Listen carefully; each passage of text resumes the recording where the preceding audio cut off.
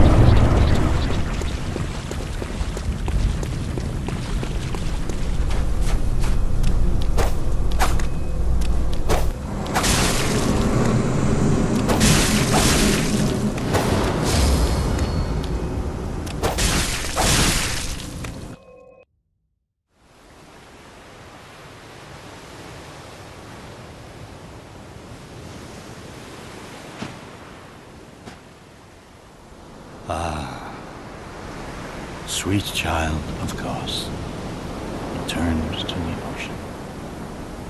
A bottomless curse, a bottomless sea, accepting of all that there is and can be.